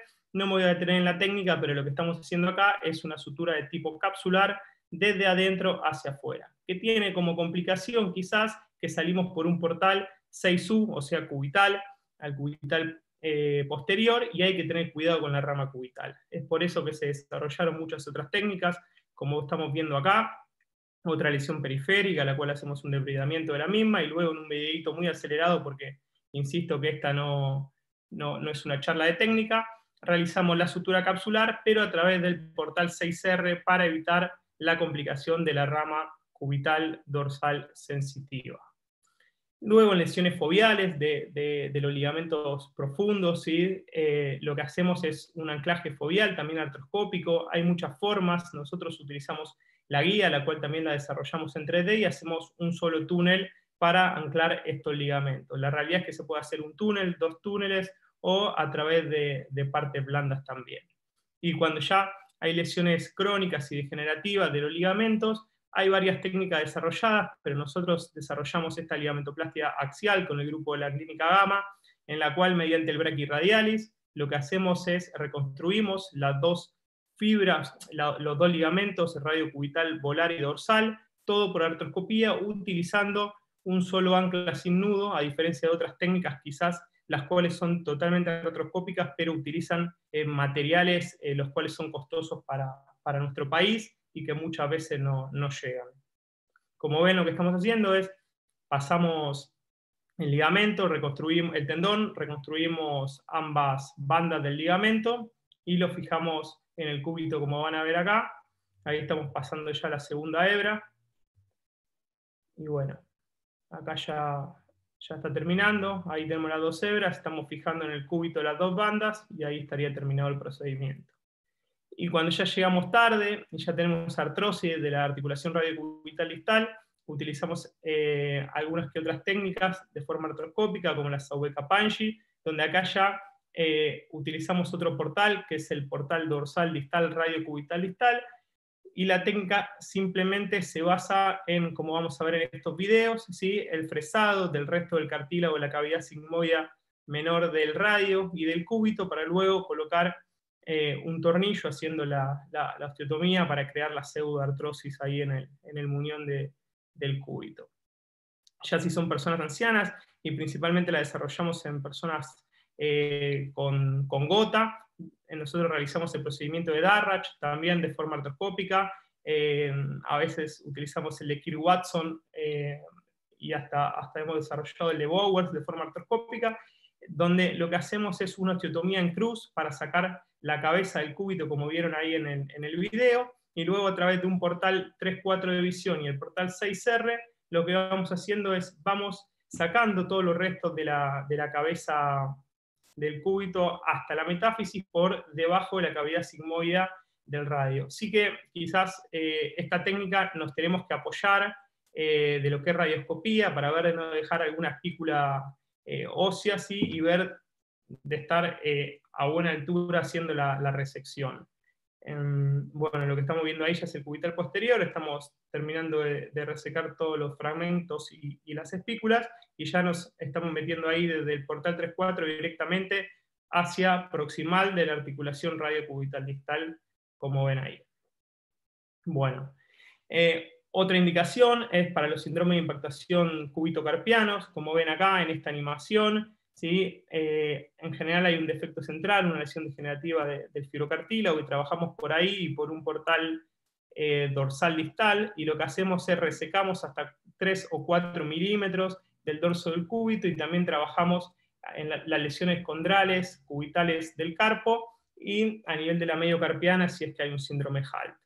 Por supuesto, como ya comentó Mati, lo que es asistencia en fractura de, radio distal, como estamos viendo en el video de la izquierda, un fragmento estiloideo, el cual lo vamos a levantar con un escoplo, ¿sí? y a la derecha otro fragmento estiloideo, el cual luego el debridamiento también hacemos la reducción, para, a pesar de ver una pequeña lesión condral ahí de 2 milímetros, que no haya eh, digamos, incongruencia articular. Bueno, en fracturas del radio y pseudoartrosis principalmente del escafoides, a través de los portales medios carpianos, también hacemos artroscopía. Acá estamos viendo de un portal medio carpiano cubital y trabajando sobre un portal medio carpiano radial. Estamos limpiando el escafoides, ese es el foco de la pseudoartrosis. Ahí está la clavija colocada. Y luego lo que van a ver es que colocamos injerto por el portal medio carpiano radial Ahí estamos colocando con una jeringuilla de, insulina cortada en forma oblicua. Estamos colocando el injerto. Luego con un escoplito lo que hacemos es lo regularizamos y pasamos a los portales radiocarpianos para terminar de darle compresión a nuestra pseudoartrosis y ver que el tornillo nos quede sin conflicto con lo que es el cartílago del radio. Bueno, gangliones, por supuesto, gangliones volares, ¿sí? como estamos viendo ahí en la imagen central, o la imagen de la derecha, donde van a ver que ahí está saliendo todo el líquido sinovial, y la imagen de la izquierda, que quizás los gangliones dorsales para empezar no se los recomiendo, ¿sí? ya que quizás es difícil la, triangulación, a pesar de que ahora están descritos los, los portales tras gangliones, ¿sí? donde estamos haciendo la, la exéresis del ganglión dorsal. Eh, también utilizamos en la enfermedad de Kienbock como, como asistencia, lo que están viendo acá es mediante ya un portal 4.5 de trabajo. Está, se activó el volumen ya que está un poquito acelerado esto, pero simplemente lo que hacemos es eh, fresamos lo que es el semilunar y luego colocamos injerto en el mismo. En general, cuando hacemos este procedimiento, lo asociamos con una descompresión metafisiaria. Ahí estamos terminando de, expresar el semilunar y ahora van a ver que de la misma manera que en la pseudoartrosis de, del escafoides, con una jeringuilla colocamos el injerto. también en artrosis parciales o totales de, lo que es la muñeca, ¿sí? acá lo que estamos viendo es una, una artrosis parcial entre el radio, ¿sí? el semilunar y el, y el escafoides, estamos regularizando y haciendo una resección de los restos del cartílago y luego mediante la colocación de injerto eh, por los portales también radiocarpianos, colocamos dos tornillos eh, desde proximal y realizamos nuestra, nuestra artrodesis.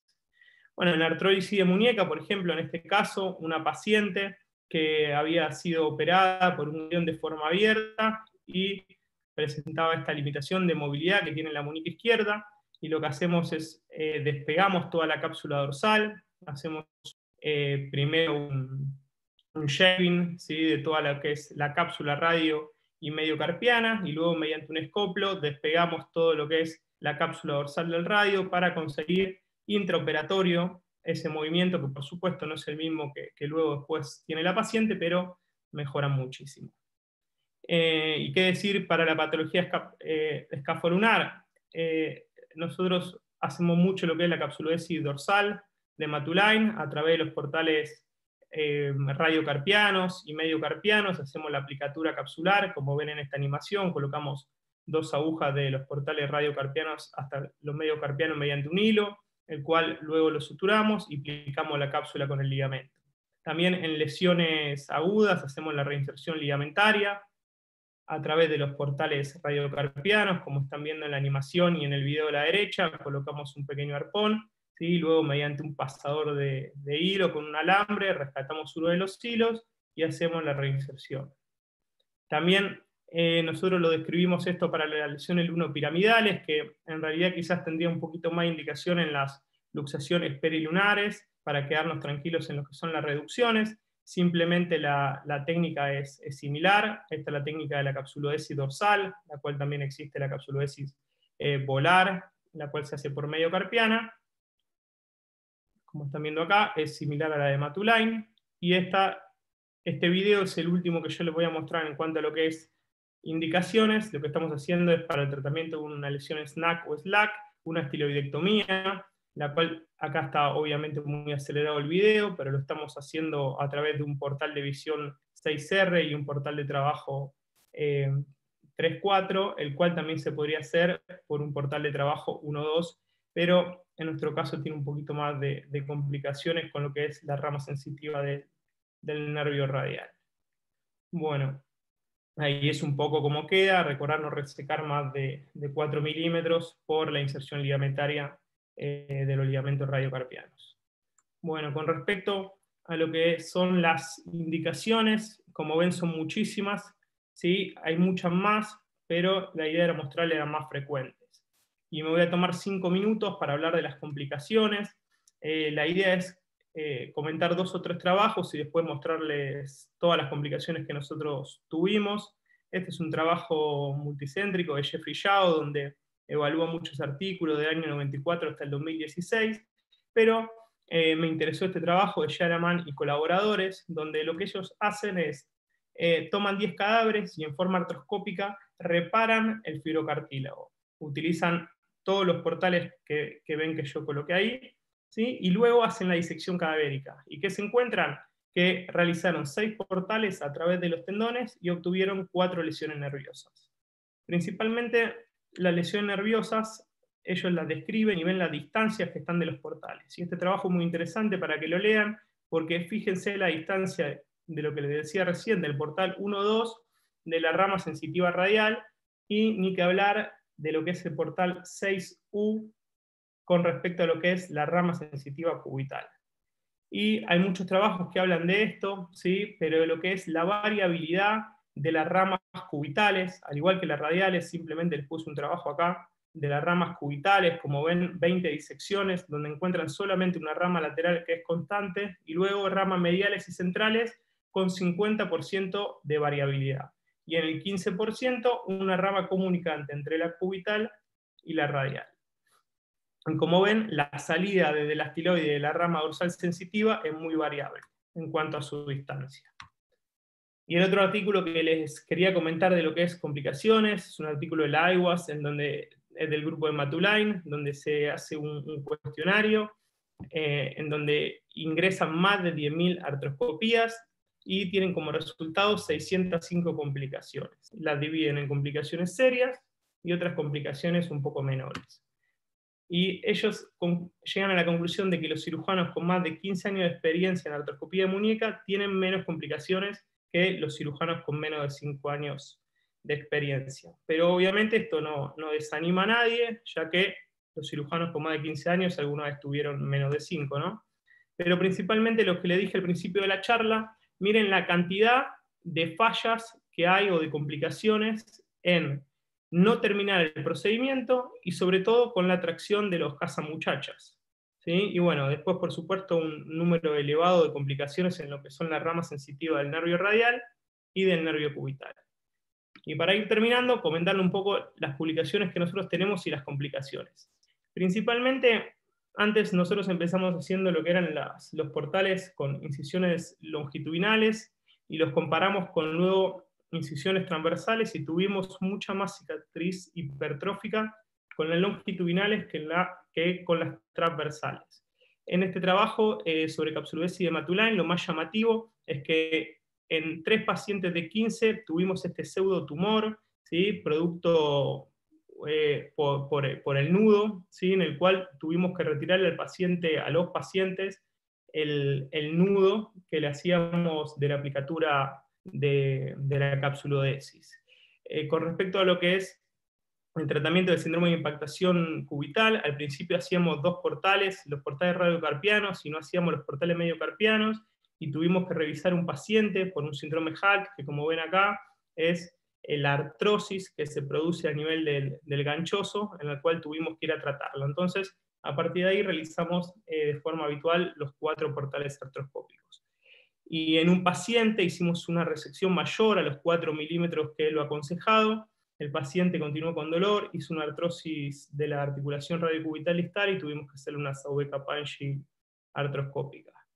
Con respecto a lo que son las lesiones del fibrocartílago, tanto capsulares como fobiales, lo que comentaba antes, eh, las complicaciones más frecuentes que tuvimos fueron las parestesias del nervio cubital, incluso eh, dos pacientes en el trabajo anterior tuvimos que ir a sacarle el nudo porque realmente estaban con una neuritis. Entonces, eh, se recomienda siempre abrir quizás un poquito más el portal 6U si uno lo va a usar y ver las ramitas, divulsionarlas y separarlas. Con respecto a lo que es el trabajo que presentamos sobre Saubeca pancha artroscópica, tratamos siete pacientes, no tuvimos complicaciones en cuanto a lo que es la técnica artroscópica, pero sí tuvimos una complicación grave por no tener el instrumental adecuado, creo yo, en el cual, como ven acá, eh, el paciente sufrió, o le, realizamos, ¿no? una fractura de radio. Por suerte este paciente anduvo muy bien y fue el del video que le mostré eh, en la otra charla, ¿no? pero esta sería una complicación seria. Luego tuvimos lesiones condrales, como ven en el video de la izquierda, lesiones condrales bastante pequeñas realizando los portales. Y esta imagen que ven a la derecha, estamos usando una fresa grande de, de 4,5 y como ven, miren la lesión condral que tiene en el semilunar. Esa lesión la creamos nosotros. Esta fue nuestra primera eh, cirugía de Bowers artroscópica que, hicimos. Y por último, en una ligamentoplastia eh, del filocartílago, está muy acelerado el video, pero recuerdo que perdimos más de 15 minutos porque nos quedó el tendón interpuesto entre lo que es el cúbito y el portal 6R. Y eso es porque cuando utilizamos los hilos y los alambres, si nosotros no divulsionamos bien la cápsula y no nos aseguramos de que los hilos pasen, eh, digamos, eh, por, llamarlo así, por el mismo orificio y no quede cápsula interpuesta, nos va a pasar esto, que después nos queda el tendón atrapado y bueno, esto es un problema porque en este caso tuvimos que sacar otra vez el tendón, volver a pasarlo, entonces también recomiendo realizar bien la abertura de la cápsula y siempre estar atento a, ese tipo de cosas en lo que es eh, las cápsulas cuando, cuando hacemos ligamentoplastia. Así como conclusiones, la artroscopía de muñeca es solamente una técnica quirúrgica, la cual nos, ayuda, creo, y, muchísimo. Es un procedimiento seguro, a pesar de todo lo que, lo que mostré recién. Es el gol estándar para muchas cirugías de muñeca y hay que tener en cuenta siempre la anatomía externa de la muñeca y sus variaciones para evitar todas las complicaciones que, tuvimos. Y es importante tener el material, el instrumental adecuado y si no, crearlo, ¿sí? Eh, como lo hicimos nosotros cuando comenzamos repasar siempre la técnica antes de cada procedimiento, ya que los tips ¿sí? son fundamentales, creo yo, en, artroscopía, y la curva de aprendizaje, por supuesto, que disminuye el porcentaje de lo que son las complicaciones. Agradecerle otra vez a, Fidel, a Gaby, acá estamos en los cursos cuando nos podíamos abrazar todos, ¿sí? y ojalá nos veamos en Maceió el año que viene y, poder abrazar a muchos de los amigos que están del otro lado. Esperemos que sí, Mate, esperemos que podamos vernos en ello. Eh, tengo toda la esperanza de que así, de que así va a ser.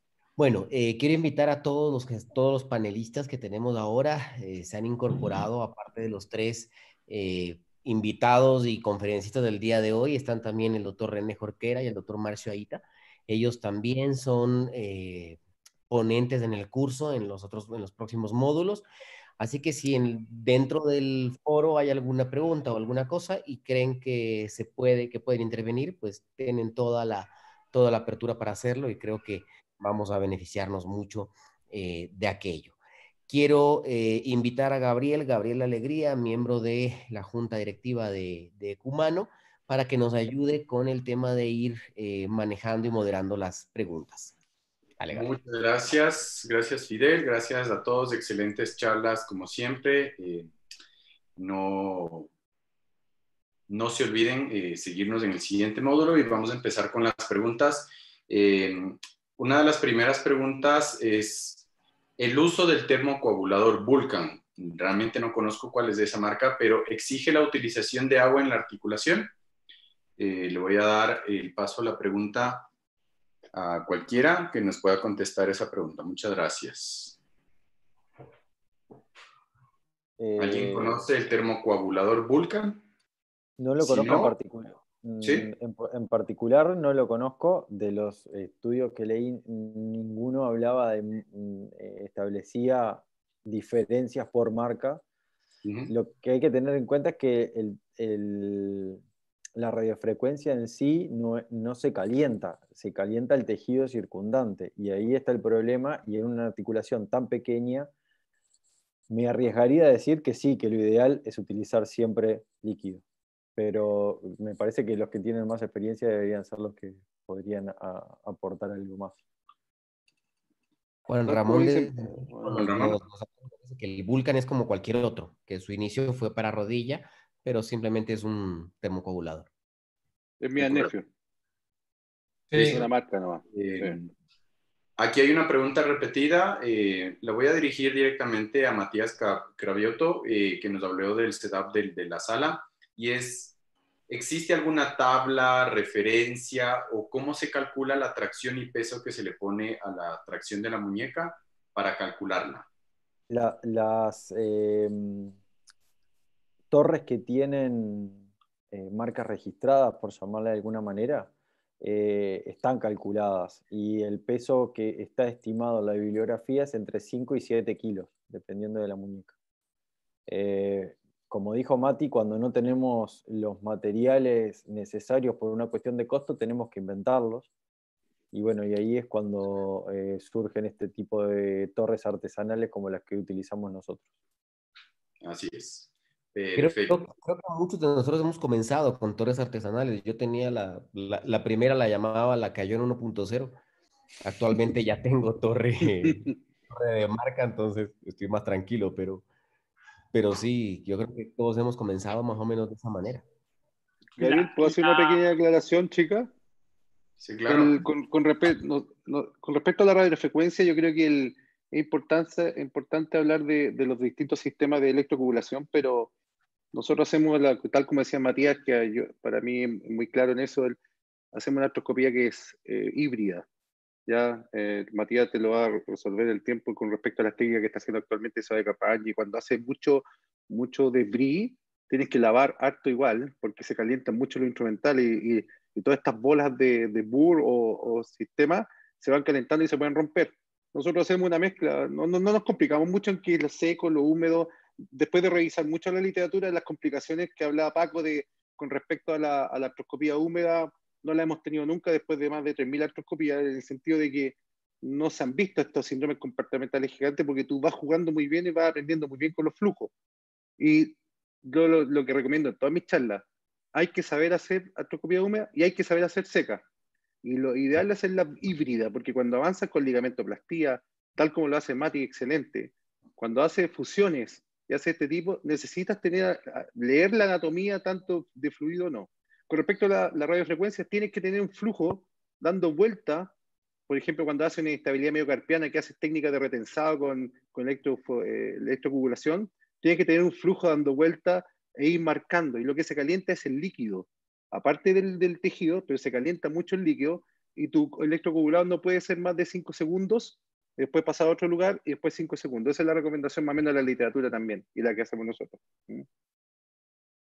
De acuerdo.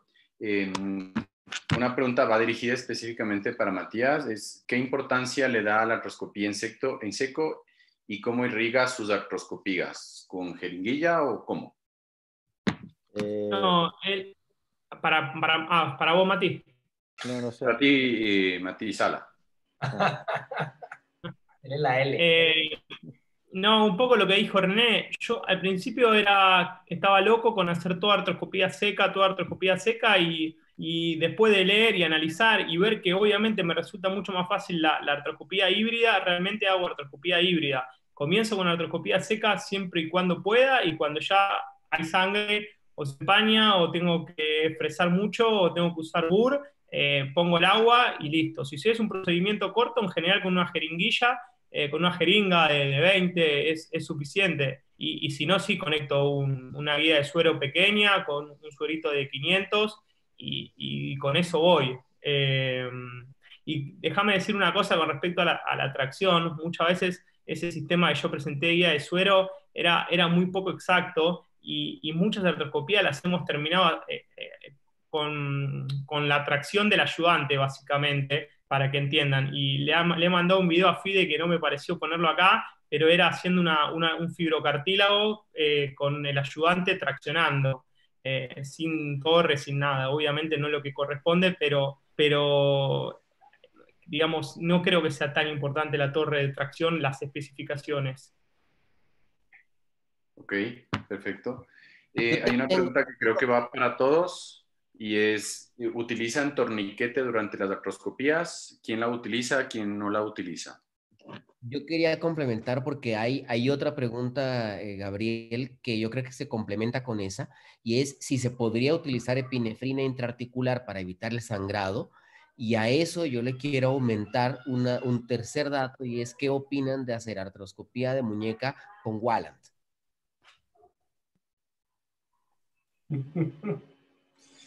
que haces preguntas tan difíciles, hombre. Bien. Te voy a dejar que opinen los más grandes. nosotros hacemos habitualmente técnica artroscópica, por ejemplo, si tengo que hacer una ligamentoplastia, o una fusión carpiana de cuatro esquinas, eh, partimos nuestra artroscopía y una no unión, por ejemplo, porque ahora está muy de moda el test de, no de moda, sino que artroscópicamente hemos visto que los pacientes con polo proximal del escafoide, por ejemplo, en definitiva no tenían necrosis, que aparecía en la resonancia, hacer el test de Green, lo hacemos todo sin, sin torniquete de entrada. Esos pacientes partimos con eso, diluimos epinefrina en mil de solución salina y le damos flujo le damos flujo y en los portales les colocamos epinefrina también. Y eso nos permite hacer la evaluación del cartílago todo y ganar tiempo, primera, primera parte. Y después en la segunda, cuando ya estamos claros de lo que vamos a hacer, si vamos a hacer la fusión carpiana y hacemos el diagnóstico, nos cambiamos y le hacemos torniquete. Pero eh, utilizamos habitualmente. No, en nuestro centro, el grupo hace Wallant, pero no lo hemos traspasado todavía a, hacer artroscopía con Wallant porque no hemos visto todavía la necesidad, dado que el paciente va a estar va a estar colgado y todo, no tenemos necesidad de, de, la evaluación que se hace, por ejemplo, en los tendones flexores. Pero sí hacemos artroscopía húmeda con, con epinefrina y no, no, nos crea ningún problema en la primera fase, no toda la cirugía. Yo, yo, yo, quería complementar, yo soy un poquito, no sé si todavía soy vieja, vieja guardia y todo, yo sí utilizo pues el torniquete y todo. Eh, y, lo que hablaban, pues yo creo que creo que en la artroscopia de muñeca todos hemos aprendido que no, no todo es seco ni todo es húmedo. hay que ir haciendo una combinación y, dependiendo tu habilidad, dependiendo de lo que vayas conociendo y lo que vas a hacer, definitivamente. La, la otra cosa es que yo creo que el Wallan, eh, a pesar de que hay unas descripciones y hay unas cosas de personas que lo hacen, creo que el paciente pues tiene una incomodidad, pues si está completamente despierto por la posición que va a estar durante un tiempo prolongado con la tracción en la mano y eso es incómodo, pues, o sea, esa sensación de propiocepción que puede tener el Wallan no se la va a quitar. Y realmente no creo, pues específicamente para un fibrocartílago o un escafolunado, la necesidad de hacer algo de movilidad que nos dé como esa, esa, esa ayuda pues en el Wallan. Yo en el centro donde más trabajo se utiliza un bloqueo del miembro superior, entonces pues ahí tengo la, la anestesia pues de esa manera. Eu me gosto de usar o torniquete pneumático, é, porque se, se, se tens uma dúvida se o tecido é sangrante ou não, por exemplo, em fibrocartílago ou polo proximal de escafoide, você pode soltar o torniquete e depois é, travar novamente. É um truco para testar si el tejido es reparable o no. Muy útil. Sí, nosotros también utilizamos torniquete por regla general y cuando necesitamos ver sangrado exactamente hacemos lo mismo, desinflamos y lo volvemos a inflar. Exacto.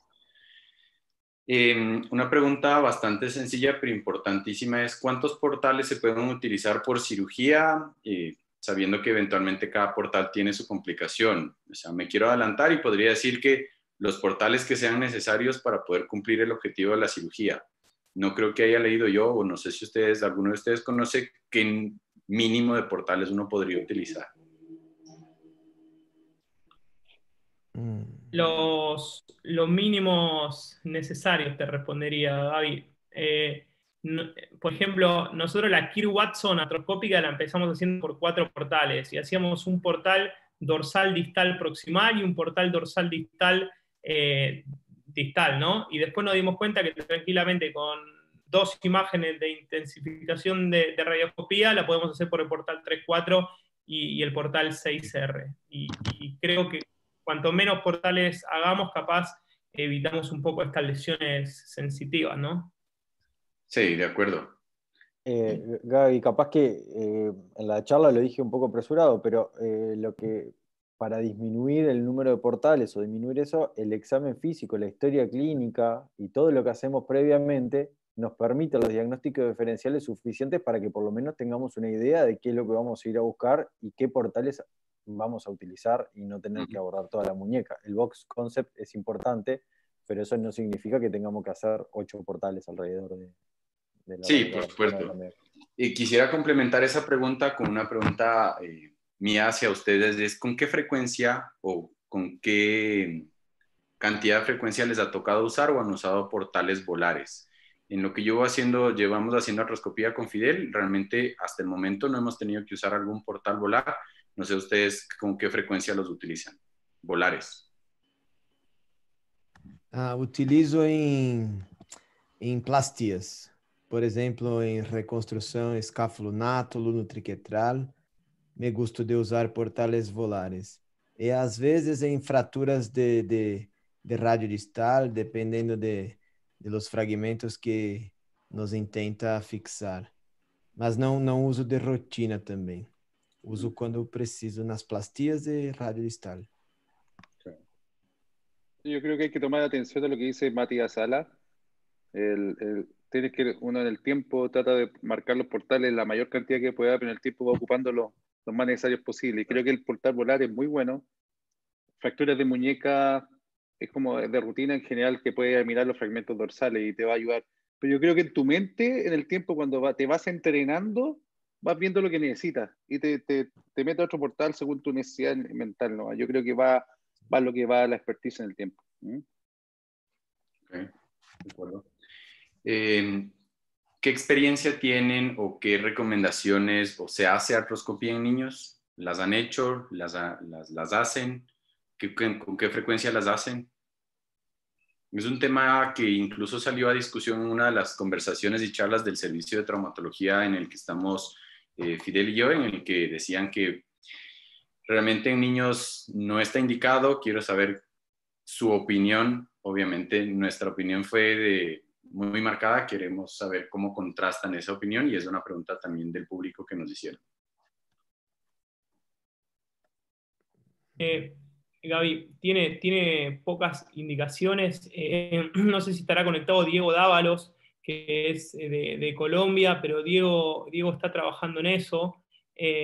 quizás sería bueno tenerlo o preguntarle a él. La verdad es que cuando yo dije que desarrollamos torres pediátricas, nos, referimos a, lo que es eh, el mástil, eh, y en general el chico más joven que tratamos fue un chico de 13 años con una lesión escafrunar, eh, la cual, más que una lesión escafrunar, lo que encontramos fue toda una sinovitis con el signo de pañal mojado y era muy difícil realmente el diagnóstico. No, sé, no, no, no, tengo experiencia en niños como para contestarte eso. Yo no he visto eh, artroscopía en niños más que, como dice Matías, tengo una, una sola paciente que tenía una inestabilidad radiocubital distal que le habían hecho un diagnóstico, le habían hecho una osteotomía de radio antes, que tenía claramente una lesión por hiperlaxitud mediocarpiana, y ponía hiperlaxitud radiocubital distal. Eh, tuve que hacer la artroscopía y lo reparamos y se estabilizó, pero era deportista, entonces no, creo que bajo los 10 años hayamos hecho alguna vez artroscopía, no, no lo veo, no tengo la experiencia. No, tú no.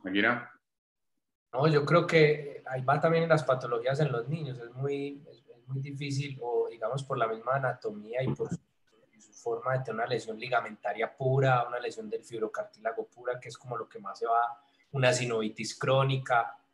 No, yo realmente también un paciente que no es tan joven, pues, porque un, muchacho hay veces de 14 o 15 años que es el más joven que le ha hecho una artroscopia, ya son muchas veces muy grandes, casi unos adultos. Entonces, pensar más pequeños creo que no. Pues les pongo un poquito más difícil la pregunta. ¿Harían ustedes una resección de ganglión dorsal en un niño de 11 años que tiene el ganglión extremadamente grande y que definitivamente le está molestando? ¿Y si es un ganglión? Sí, sí, es, un ganglión. Confirmadísimo. Confirmadísimo y es décil y, ah, no, la, la, tenías guardada, pues escondida. Sí, claro, obvio, tenía que ir calentando. Sí, yo no le veo dificultad en el sentido de si hay, hay una patología ah, y está claramente por resonancia diagnosticado. Sí te aconsejo eh, que lo haga eh, aumentando el espacio y evaluando el escafo lunar, porque un paciente de esa edad puede ser algún grado de laxitud, algún factor que pueda tener y evalúa si tiene alguna instabilidad, pero no creo que haya defecto, porque igual le vas a hacer una cirugía abierta. Entonces no creo que sea el impedimento. Yo creo que el impedimento va en la estructura ósea en un niño, no tanto en la ligamentaria, esa es mi opinión. De acuerdo. De acuerdo, sí, justamente eso es lo que, lo que habíamos conversado en algún momento, que no, no, le vemos eh, realmente, si hay una indicación clara, como por ejemplo este caso del ganglión, pienso que la edad es, es, es muy variable, es un elemento muy... Lo vas a operar igual. Exactamente. Ah, sí. sí. Ahí sí, lo que pasa es que eso pues ya con has escondido. Ah. Eh, hay una pregunta para Matías Sala, si ha tenido, ¿cómo le ha ido en los Kienbox y los injertos artroscópicos en el tiempo? Me supongo que es el seguimiento que has tenido a tus pacientes. Sí, con respecto a los, a, los Kienbox, eh, nosotros eh, siempre que podemos ofrecer la artroscopía al paciente y, y, la opción se lo ofrecemos y la realidad es que tenemos cinco pacientes tratados de esta manera y no le hemos hecho otro procedimiento. Por supuesto que que nuestro follow-up, eh, no recuerdo exacto, pero es menor a 5 años porque es menos de lo que yo hace que, que, volví.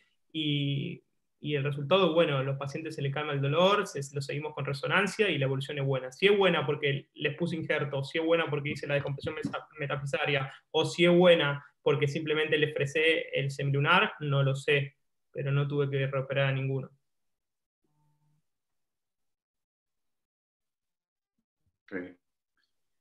Eh, bueno, hay varias preguntas que son referentes a, los, a otros módulos, eh, excepto esta única por acá que dice si han tenido algún síndrome doloroso regional complejo posterior a una artroscopía. Asumo que tiene que ver mucho con la tracción o la agresión a los tejidos que hayan eh, hecho, pero si han tenido alguna, que nos quieran comentar cómo les fue, cómo lo trataron. No, en mi caso no. ¿No? Nosotros tampoco hemos tenido, afortunadamente está escrita, pero no la hemos tenido. Y bueno, hay otras preguntas que no me quiero detener en estas porque tienen fines eh, de los próximos módulos que vienen, entonces no vale la pena por ahora sacarlas. Eh, de mi parte... en relación con el tema de la hora, que ya creo que ya es hora de... Vamos estamos ya. todo para nuestros amigos que tienen dos horas de adelanto. Eh, yo quisiera hacer esta última que, veo acá, que me parece que sí es importante y es qué experiencia tienen con artroscopía con fines diagnósticos en casos de dolor sin causa determinada por otros exámenes, poner esta sobre la palestra y qué tan útil les resulta. Bueno. Ah, muchos casos que desarrollé diagnóstico por la artroscopio. Por exemplo, fragmentos é, chiquitos em, em mediocárpica, uh, lesões de, de escáfulo nato, um, fibrocartílago, que me recordo, Uh, e tem um caso de um goalkeeper, professional goalkeeper, com lesão de um fragmento de lunato, que não, não, não se conseguia ver por outros exames. E apenas saca, saquei este fragmento e o resultado foi espetacular. E acho que é um ponto bueno falar sobre diagnóstico em artroscópio. Acho que é muito, muito, muito sencillo, mais que ressonância, em meu, minha opinião. Pues complementando a esa pregunta, creo que incluso hay algunas eh, clasificaciones de lesiones, por ejemplo, en el Kienbog, en las que se utiliza eh, la artroscopía para complementar al diagnóstico y la decisión de tratamiento. Entonces, creo que la artroscopía tanto funciona para diagnóstico, pronóstico y decisiones terapéuticas. Entonces, la artroscopía definitivamente es una ayuda diagnóstica increíble, que no hay que descartarla por nada del mundo, creo yo. Y creo que históricamente, en relación a lo que decía, por ejemplo, Luis Felipe en su, en su conferencia, un poco el futuro de la nanoscopía y que creo que incluso actualmente se están desarrollando elementos que se pueden prácticamente colocar para hacer una artroscopía diagnóstica, incluso un consultorio, ¿no? Son cosas ya más de futuro y que ya las eh, veremos más adelante, pero que es una, una opción eh, interesante. Bueno, quiero agradecerles muchísimo por su presencia. Muchísimas gracias a los eh, cerca de 300 asistentes que tuvimos el día de hoy.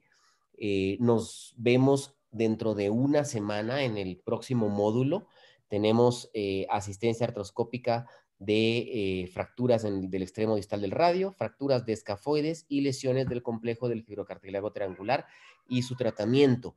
Así que el próximo martes nuevamente regresamos al hashtag martes de Cumano y nos vemos para eh, ese próximo, esa próxima conferencia. Muchísimas gracias a todos nuevamente, a todos los asistentes, a todos los ponentes.